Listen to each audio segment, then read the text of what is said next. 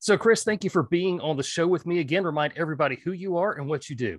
I'm Chris Hadnagy. I'm the CEO of Social Engineer LLC, uh, which is a company focused on the human side of security. And I also run the uh, ILF or the Innocent Lives Foundation, which is a nonprofit that helps law enforcement uh, geolocate people who are trafficking children and creating child abuse material. And right. thank you for having me back on. I really sure, man. No, yeah, I always want to have you back on. You know, we when we talked this last time, you know, uh, it was really just so focused on parenting. Like after I was done talking to you, I was like, man, I got to have Chris back on because I just feel better after talking to him. Thank you. So uh, that was really cool. I'm glad that you mentioned the Innocent Lives Foundation because we kind of want to focus on your work uh, with that group. We didn't really talk about that this last time. Yeah. But um, what led you to start such a foundation?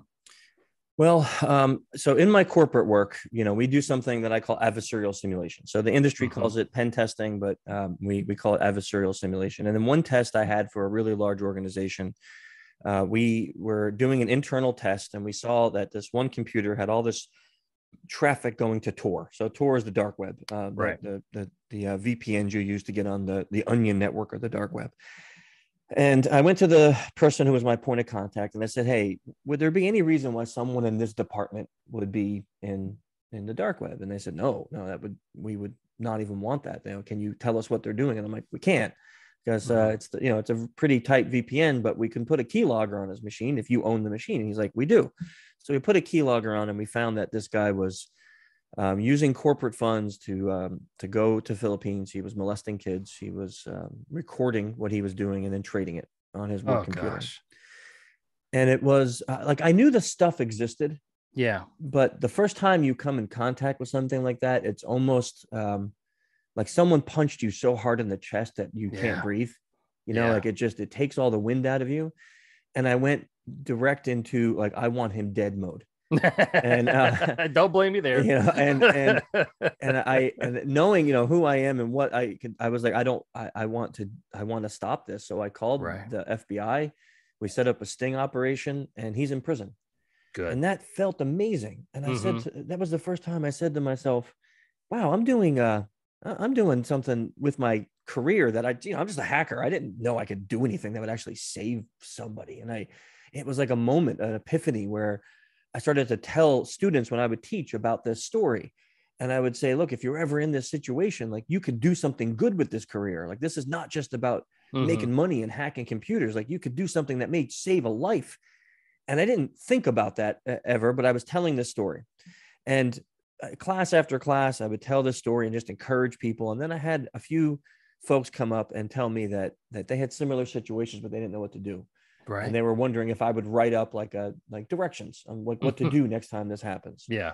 So as I'm doing that, I'm thinking, you know, I wonder if I had a like a like a group that would mm-hmm. focus our talent. So I went to my lawyer and I said, look, I got a crazy idea. And and the, and it was crazy because everywhere I looked, like when I went out to see if I can volunteer somewhere like Thorn or other places, yeah, they were all focused on creating tools or saving the kids. And I was thinking, well, what I want to do is I mean, yes, I want to save kids, but I want to stop the perpetrators. I want to stop yeah. the people who are hurting them. And I couldn't find anyone that was doing that. Uh, there was like a few splinter organizations that were really small. So I'm like, this is going to be new. So I went to my lawyer and said, like, can I do this? Is this legal? And he went, let's figure it out. So we did. And we figured out the things we had to overcome. And um, I launched it just about five years ago. Mm-hmm. And I thought, you know, three or four people will help me out after a conference and we'll hack away at some servers and give it to the feds, you know. And I have six full time employees and 50 volunteers. And we just completed over 600th case. Wow. It's, very it's, cool. I know it, like it, I sit back and it blows me away, but it all started because of that, that very first case thinking now that, Hey, I can actually do something good with all this stuff. Yeah, man. And that's fantastic. I'm glad that you went to your lawyer first instead of yeah. just being cavalier about it and saying, Hey, we're going to go off and be vigilantes here. You went at it at a, at a systematic approach to make sure that what you did stuck. Because I know that, um, I, I know from law enforcement friends that I have and all levels of law enforcement you know when it comes to dealing with what we're calling csam now um, you have to document all of that. And that's unfortunate because sometimes there's a lot of it but i'm glad that you're taking the right path and making sure that you're getting the good information to the people who are who are going to need it. You so know, I appreciate you saying that because when I started it, one of the things, you know, I mean, I, I did the you know internet research, which I you know watched to catch a predator yeah and those things, and thought, well, maybe that's Yeah. what we do, right? That's what we do. And then I started reading, and I found an article that said that eighty percent of uh, the cases that that show to catch a predator brought to court got kicked out of court right because of mishandling of evidence or they did Mhm. something too much or they're the ones who started the sexual conversation and i went man i'm Right. not a cop Right. so I, I could see myself messing this up so when i went back to the lawyer i went look the main goal because I said if we do this it's a nonprofit which means i make no money from it so if i'm Mhm. going to volunteer my very limited time in my life it's not to feel cool i Mhm. want it to lead to saving a, a child or stopping a predator so what is needed to make an arrest. So I actually went to NCMEC, which is the, the National Center Mhm. for Missing and Exploited Children. And I said, if a case comes into you, what is needed for it to lead to a warrant that can be arrestable? And they gave me a list of things. And then I went to buddies I had in the FBI and I said, hey, if someone were to hand you a case, like a, a, paper file that said, here's a child predator, what would need to be on that for you to go kick a door in and arrest this guy? And they told me. So when I Mhm. went back to form the ILF, I said, then this has to be our rules that we have to be able to provide this. And one of the main things was it has to be legal and it Mhm. has to be completely above board and they have to be able to reproduce it. So if I do one thing that is sketchy, right right? I hacked a server just a little bit to go get that Mhm. name. Mhm. And now they can't do that legally. That case gets thrown out. yeah So we have to, so the rule set became everything we do has to be above board. So that way it can lead to an arrest. right And, and it became, you know, part of our original laws, bylaws in Mm-hmm. the organization. And um, along with that and therapy, it became really the ground foundation for everything Yes. that, that we did in ILF. Yeah, I've um, I've talked to people in various degrees of this, and um, they all talk about how the people who are actually the good guys behind the keyboards are affected by what they see, and they go to therapy and they do all that sort of stuff. So it sounds like man, you've got a good foundation from the ground up. Sorry for that pun there. No, it's But, okay. uh, we we uh, the first person I hired as an employee was a therapist, Mhm. and um, and she her job she's the director of wellness, and her job is that everybody that works for us has to see her once a month. Yeah, So you get good. mandated therapy every month because even though we're not looking at the images, you know, we're using technology to blur images. You're reading good. Mhm. stories, you're reading what people say and the way they talk Right. about children. It's so disgusting Mhm. and it, it affects you. It can't, if it doesn't affect you, then you need to be out of this organization. Yeah, It has, a normal person cannot consume that content and not be affected. right. Absolutely. Yeah. So um, your group is working all the time, and you're looking at trends, and you guys have kind of stumbled across uh, a troubling trend. Can you share with us what you guys are finding? Yeah. So this, when COVID kicked out, you know, it, let's think about, um, you know, child abuse material. You said CSAM, right? Mhm. Child sex Right. abuse material. So uh, I, I hate to speak of it this way, but just to understand it, we have to speak of supply and demand. Oh yeah, So yeah, right, you got demand, which Right. is going up because of the dark web and the ease of being anonymous on the internet. hmm and then supply isn't there. So now COVID happens, and the predators and the children are online more. Hmm So uh, predators started to troll around sites that kids would hang out, sites where kids would watch movies together. We actually found predators on homework sites. Um, we found predator anywhere a child is, Mhm. they're there, right? right. And we just So it's not a- just Discord. it's not just Discord. It's Okay. everywhere. We found them. There was a site set up by by real teachers that was legitimate. Mhm. When COVID kicked out, a lot of kids started failing. And these teachers got together out of the kindness of their heart and they said, let's put a homework site up where kids from anywhere around the globe can come and ask for help with their math, their science, whatever. Right. And it was free. And kids can come in and say, Hey, I got an algebra one question. And some teacher would go, Hey, I'm an algebra one teacher. What is it? I'll help you. Right. Well, quickly, predators went, This are kids asking to be in chats. And they went in Mhm. and they would offer and they would actually give them their math, math help. Right. But then they would start to move it to Kik or move it to Discord or move it to yeah. Instagram DMs. And next thing you know, there's this is where the trend comes in. is it's um, it's self-taken child pornography, and what that means is they convince the child to take the picture of themselves. So mm-hmm. something like you know you make believe you're another 14 year old kid and you're going through the same problems that I'm going through uh, with my parents, and I can't stand them, and they're getting a divorce, and they suck, and this and that, and I'm going through the same exact problems. And then in a chat, a young lady, let's say, says, you know, well, it's you know, I I, wish I had a boyfriend, or I wish this, or I can't get yeah. a boyfriend, I'm too yeah. ugly. And well, mm. I bet you're not ugly. Take a picture of your face, and then oh my God, you're so beautiful. And next thing you know, it's like, well, I bet you look great in a swimsuit. And then you know, one thing leads to another. I've seen these. I've actually seen the conversations in right. under 30 minutes a child is taking a fully nude picture and sending it to this person. Now, once they have that picture, they then do something that is called sexploitation. Mm-hmm. So now they say, Hey, I'm not a 14 year old. I'm a 38 year old male, and I'm going to show this picture to your dad, unless you get on camera and you do stuff to yourself. Mm-hmm. And now they video record that. And then that picture and those recordings now go into tradable packs on the internet for mm-hmm. self-made child pornography. Right. And um, this has increased hundreds of percent since pandemic, because again, the, de- the the demand is there, and the supply is also stuck at home. Yeah. And I don't know about your house, but my house wasn't designed to have four offices in it. So right, when right. COVID kicked in, I had myself, my wife, and my two kids all looking for places to work, do homework, spend time. So we weren't on top of each other.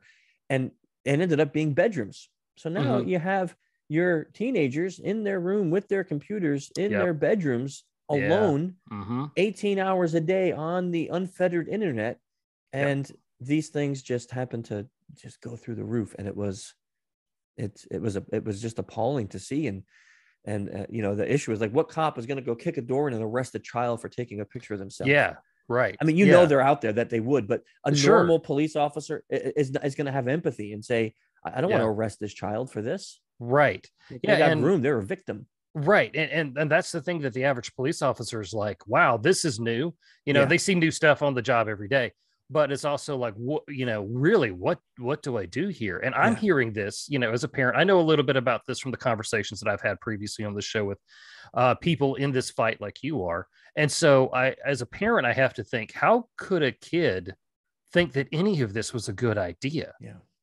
So, you know, help us, help us as parents, and your dad as well, yeah. you know, help us as parents understand what the kids are thinking and how we can, how we can turn that around. Yeah. So there's a few things at play here that we have to understand because, and I'm glad you asked this question because I have seen parents that are amazing, but I've also seen parents that when this happens, they say something to their child like, what are you how can you be so dumb yeah and, and let's right. think about this is not about stupidity yeah this is human nature mm-hmm. right yes. I, we yes. we all want to feel accepted loved wanted we mm-hmm. all want that and now you have this let's say in essence a child who's at this uh, hormonal age where maybe their body's changing and they do feel ugly and mm-hmm. now someone's telling them they're beautiful someone's telling them they're attractive someone's telling them they're hot that mm-hmm. feels good Sure. It feels good. Okay. It feels good at my age. If someone were to, sure if I were to have a conversation with someone, heck, when I got on the show, you told me, Hey, you look so great with all the weight you lost. That felt yes, great. yes. That felt great. No, I knew you weren't hitting on me, but that felt great, right? Because that's human nature.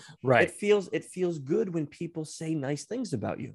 Right. So now you have this teenager who's not, uh, you know, not all critical thinking, a lot of hormones, and someone's telling them that they're beautiful.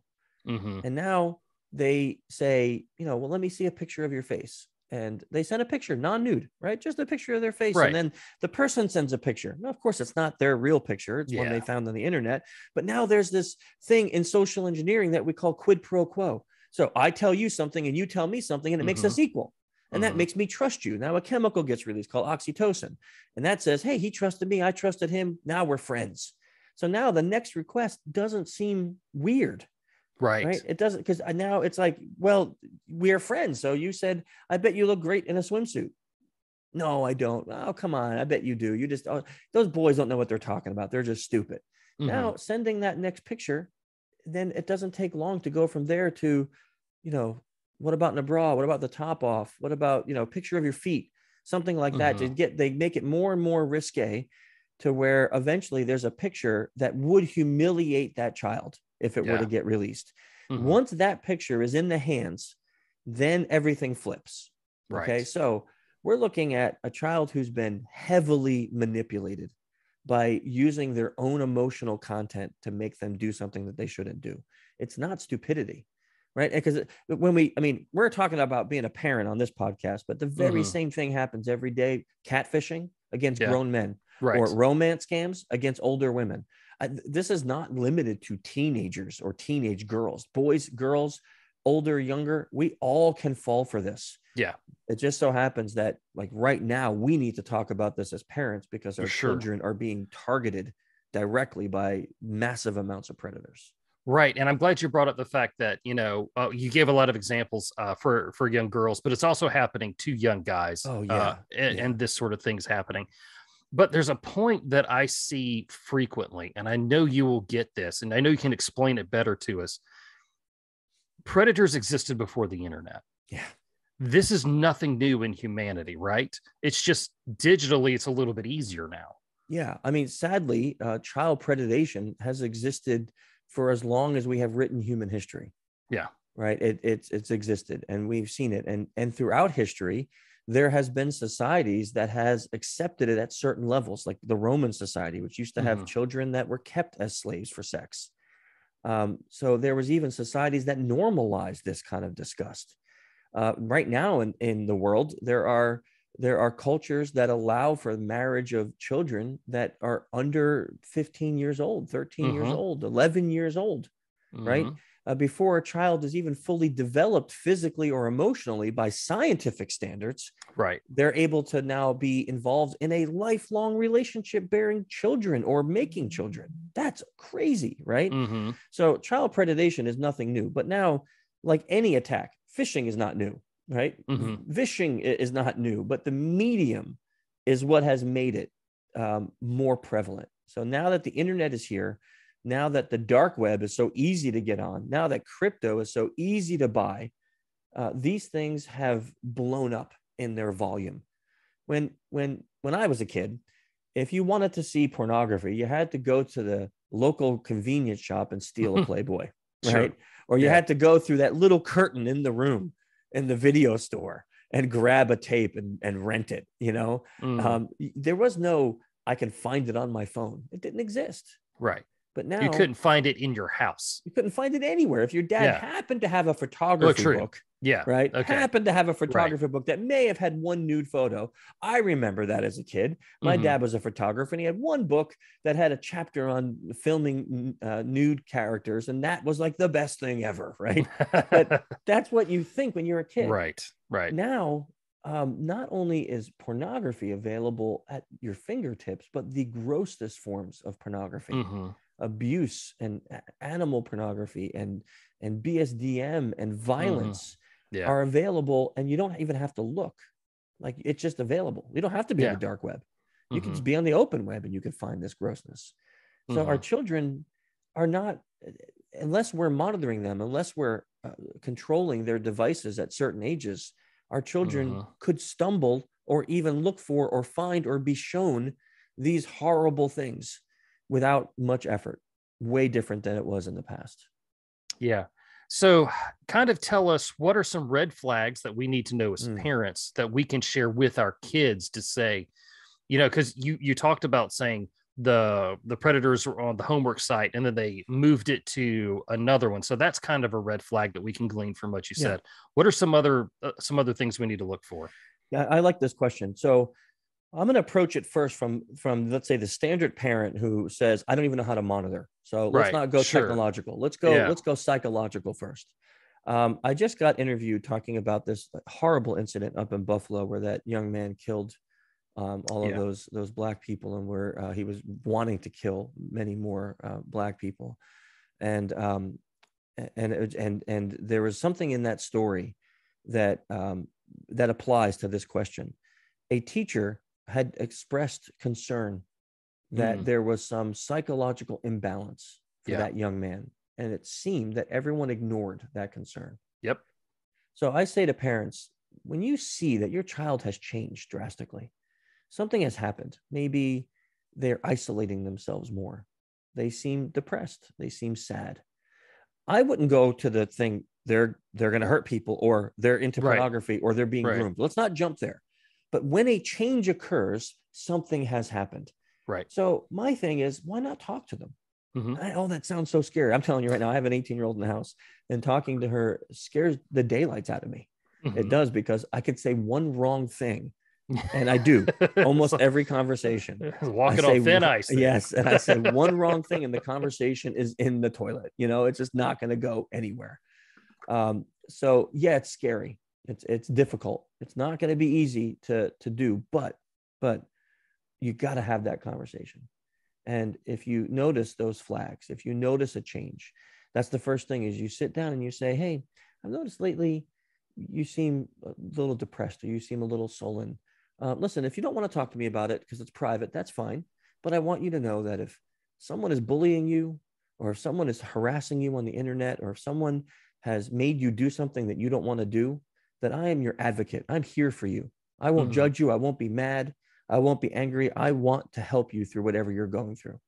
And I would approach it that way. So you're not saying you must tell me what's going on, or you start Sure. reading their emails or whatever. Maybe the problem has nothing to do with this. Maybe it's just Mhm. a personal issue and they're going through teenage stuff. But by letting them know, hey, I'm here. And because a lot of times what predators do is they'll paint a picture that if you tell your mom you did this or you tell your dad you did this, Mhm. they're going to hate you. They're going to think you're a slut. They're going to call, they're going to, they're going to kick you out. Right. They convince them that they're a bad kid for what they did. So they don't Mhm. want to talk to their parents. Well, if a parent ahead of time is saying, listen, if that happened, if something happened, I, I'm here for you. I want to help you. I love you. I, there's Right. nothing that can make me stop loving you. Right. Sometimes that's all a kid needs to hear. And, and I can tell you personal experience um, from a case that we worked where parents started to um, worry about their child. We just had this happen. And they talked to her. They didn't, they, she was not, re- she wasn't willing. So then one day she was out and they checked the computer logs and they saw that she was in a chat and these guys were getting sexual with her. Mhm. And they went to the police and the police said, We can't help you too bad. And they contacted ILF and we said, We can help. We'll Mhm. help. We'll find these people. So we did. We found them and they were not 16 year olds as they were claiming. They were 32, 38, 40 year old men that Mhm. were grooming this little girl. And we ended up getting um, federal police involved. Um, the, a, a restraining order was issued against them. And then the parents were able to present the evidence to the young girl Mhm. and save her. And this was at a time when she was talking about physically meeting them. right. So because Yeah. the parents took action, they spoke to her, they showed her un she would get so mad at them. She would be, she would say horrible things to them, but they just kept loving her. They Right. just kept hugging her, telling her it's going to be okay, taking her away for a weekend, just not punishing her, just being patient with her. And now they had this amazing relationship, and she was saved from getting picked up. And I look at that and I say, okay, great. Yep. People want to say ILF did great. It wasn't us Mhm. those parents, right? We played a tiny part in that. The parents are the ones who said, you know what? The police said no, but I'm not giving up. The parents are the ones who said, I'm going to keep showing you love, even when you say horrible things to me. The parents are the ones who just kept loving her, regardless of how much she pushed them away. Parents like that, they saved that girl. That girl is now not being groomed. She's saved from sexual harm. She's saved from being picked up because of those parents. And that that was a year long process. Yeah. I don't want to paint this picture that you know they did it and a month later everything Right. was saved Yeah, and they were skipping through fields and daisies. No, Yeah. no, this was a year long process, and and but she's safe. So I tell that story because pe- people need to know it, it can work, but it may not feel like it. I, there were there were days where those parents would call us and they would say, "I think I think we lost. I think it's I think it's over." And we'd just be like, "Nope, don't don't give up. Don't give up." You know, we just kept encouraging them and whatever. But it it you you can't. You have to persist with this. And parents that do, they're the ones who save their kids. Very good. That was a really long answer, but there's many other things no that it's a can very be done, you very know? good answer um and that's good because it, as parents you know every parent is a protector. That's the Yeah. slogan of this show and, and what i do is the secure dad. Yeah. so you've done a great job painting for us the picture of what we should do emotionally to connect with our kids to help them. But i know some parents when they hear these conversations say well i'm just going to go take all these devices and i'm going to go chunk them in the river. Does that work? Well, no, because um, and I'll tell you personal experience now. Mine is I through my child's life, through my daughter's life, I have set up at an age appropriate. I have set up monitoring, mm-hmm. blocking, um, rule sets on her devices, and routinely, like a tiny little cute terrorist, she has found ways to bypass everything that I have done. Right. and it was a constant battle. Mm-hmm. Now, I guarantee you, if I went and chucked her devices in the river, mm-hmm. she would have found a way to get her friends to buy her one and she would have had her own. Right. Yeah. So yeah, my my way I did it was and, and you know, she'll tell you up front, she she still hates it, but this is what I did when she was younger. I said, okay, Maya, here's the deal. You're we're going to give you a phone, but I'm going to install this app on it. And I showed her the app.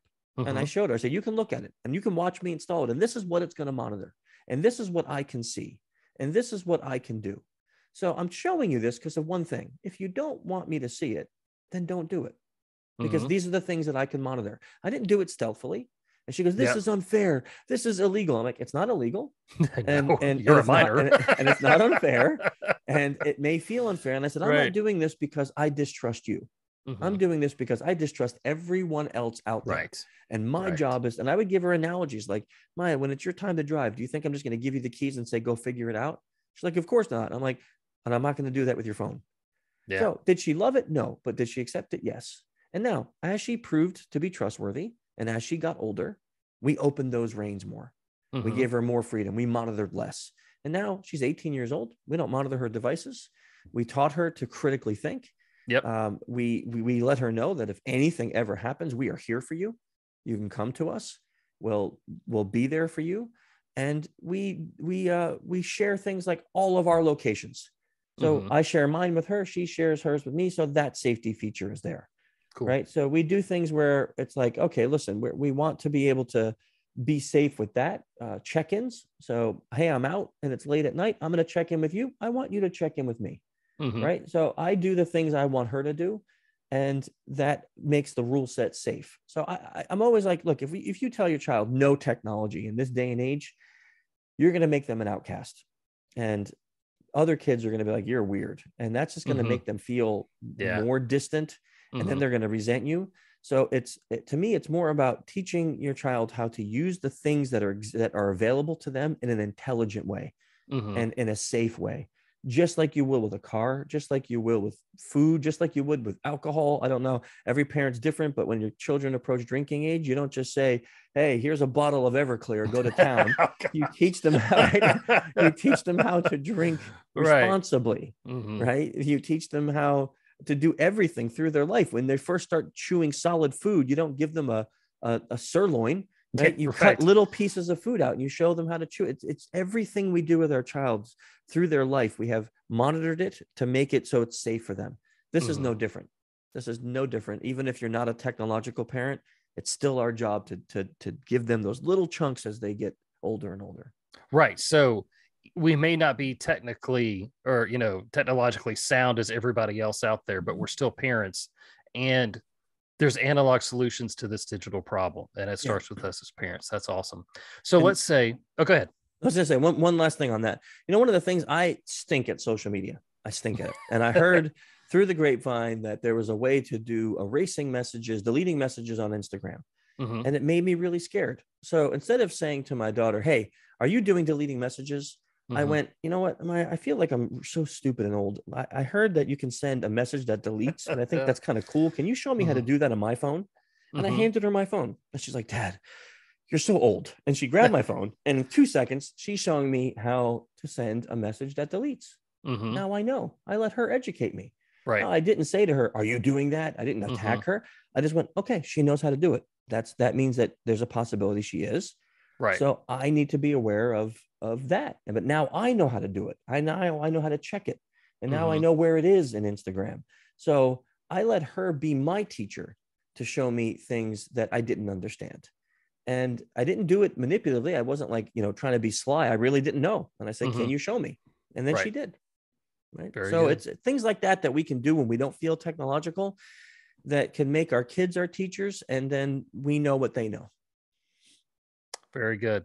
So as we wrap up here, Chris, for for the parents that are listening to the show who have that gut punch feeling that something's going on with their kids, what does what does their next steps need to be? What's something tangible that they can go and do? Yeah. So uh, f- first things uh, you can do is uh, have that conversation, right? That's step one. Start a conversation. Second thing is, um, and and it doesn't matter how old they are. Uh, you own the home network, so you can yeah. in, on your home router, right? You can install. Most routers nowadays come with filtering software where you can just see what websites are being visited. Mm-hmm. So you can turn that feature on in your router, so that way you could see: is your child going to sites that are filled with racism, bigotry, pornography, right. um, hate speak, things like that that you should be concerned about, right? You can monitor that and check that. Now, if that happens, I wouldn't go kick their door in at one in the morning mm-hmm. and go, "What the heck is this?" now you know where they're going, and now you mm-hmm. say, "Hey, I was just checking some things on our logs, and I saw that this one site keeps coming up. I'm really concerned about this because I went to it, and it's filled with X, whatever it is, right? Right, you whatever it is. And and that stuff that can't be in our house because we don't we don't believe that way. Yeah. Like we don't we don't yeah. go that way. Can you right. tell me why you would be going there?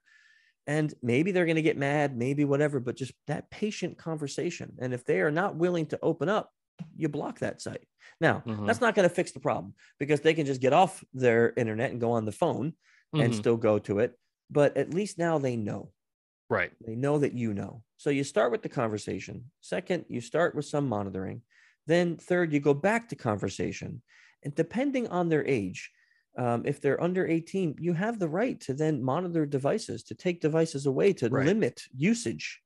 Uh, one of the things we did with my daughter was we said, listen, uh, bedtime is uh, 11:30. After that, you don't need a device. So mm-hmm. you can have it because you listen to music, but we have parental controls and that device is going off, which mm-hmm. means the only thing that will work for you is your alarm and your music. Everything else is going to be disabled because you yep. don't need to be talking to people. What if one of my friends needs me? They can call you in the morning. Yeah. Right. They don't need yeah. to call you at one in the morning. Mm-hmm. They don't need to talk to you at two or three. That's ruining your sleep. And when you don't sleep, you get depressed. And when you're depressed, it affects your mood, which affects us. So, no, we're going to help you be healthy. Mm-hmm. That's my right. job. Right and she didn't like it, but that was the rule set. Yeah. You know? So that's what we, that's my suggestions for what parents can do. Very good, man. I appreciate it. Thank you for for talking with us again on such a and and talking to us so easily and approachably about a really hard topic. Um, you've you. made this easy to understand and easy to accept, and actually hopeful for what we're going to do next as parents. Where can people find out more about you and your mission? Uh, before I tell you, I just want to say you make it easy because your questions are excellent. So you're a really good you. interviewer. So you, thank, thank you. you. for that. Um, uh, actually, if you go to innocentlivesfoundation.org, uh, we have documents on there for parents on how to have a conversation. That mm-hmm. actually comes from the ex director of the FBI's BAU. Um, he wrote an article called Trust and it actually talks about how to have a conversation with your child about these very hard topics. Very good. Then we have a guide on how to set up monitoring on an iOS device. Uh, we have a guide how to set up monitoring on Android devices, uh, and there's many other blogs and posts on there that parents can use to um, that completely for free that they can you can use to to figure out how to not only talk with your kids but monitor them and, and protect them. So innocentlivesfoundation.org um, is some great resources on there for that. Very good, Chris. Thank you for talking with us today, and thank you for everything that you're doing, buddy. Thank you. I appreciate it.